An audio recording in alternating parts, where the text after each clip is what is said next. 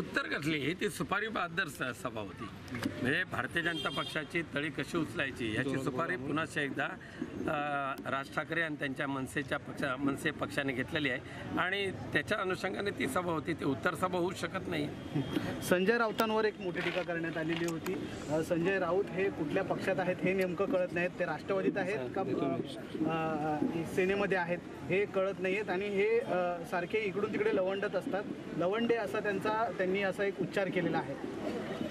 राज ठाकरेंसारख्या गद्दार आणि बेईमान माणसापेक्षा माणसापेक्षा संजय राऊत हे आमच्या शिवसेनेचा अभिमान आहे. ते कुठे असतील काय करत असतील पण त्यांच्या लेखणीने तुमच्यासारख्यांची फेफरते हे काही कमी नाही आहे.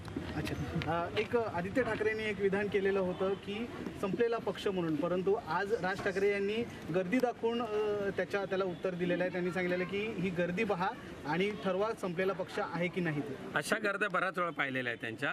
एक करमणूक म्हणून जाणारे त्या सभेला जाणारे लोक आहेत परंतु आजपर्यंत ह्या संपूर्ण देशामध्ये ज्या पक्षाचा एकही लोकप्रतिनिधी लोकप्रतिनिधी नाही असा पक्ष म्हणजे मनसे.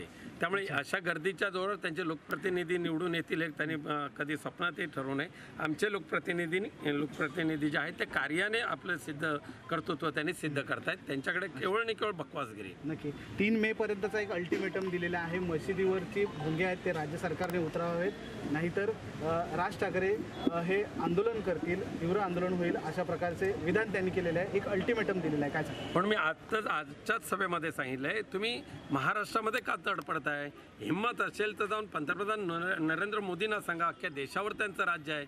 त्यांना सांगा केंद्राने कायदा करा आणि त्यांनी तो संपूर्ण भोगे हटवा ना हटवा संपूर्ण काय भोग हटवायचे तेवढे. पण केंद्राकडे जायचं नाही राज्य सरकारकडे टूर करायचं. त्यामुळे मी आव्हान देतो राज ठाकरेंना हिंमत असेल तर देशाच्या पंतप्रधानांकडे जा आणि देशातल्या सगळ्या मशिदीवरचे भोंगे काढायला सांगा.